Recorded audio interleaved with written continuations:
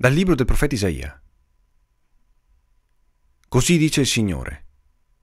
Come la pioggia e la neve scendono dal cielo e non vi ritornano senza aver irrigato la terra, senza averla fecondata e fatta germogliare, perché dia il seme a chi semina e il pane a chi mangia. Così sarà della mia parola uscita dalla mia bocca. Non ritornerà a me senza effetto, senza aver operato ciò che desidero e senza aver compiuto ciò per cui l'ho mandata.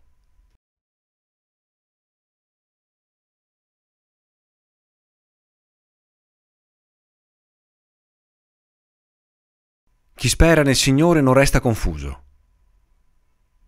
Magnificate con me il Signore, esaltiamo insieme il suo nome.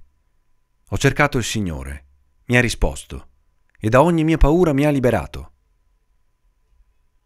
Chi spera nel Signore non resta confuso.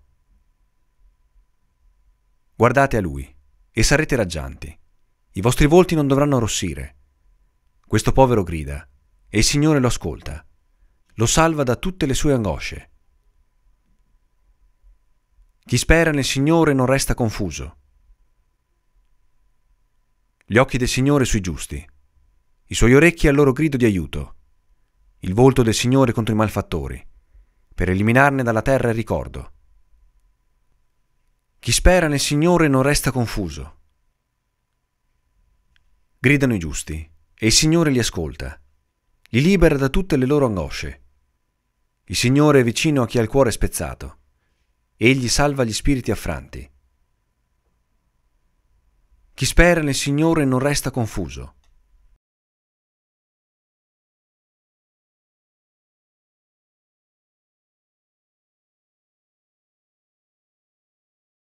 Dal Vangelo secondo Matteo.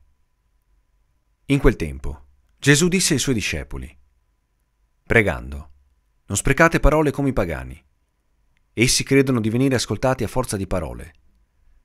Non siate dunque come loro, perché il Padre vostro sa di quali cose avete bisogno, prima ancora che gliele chiediate.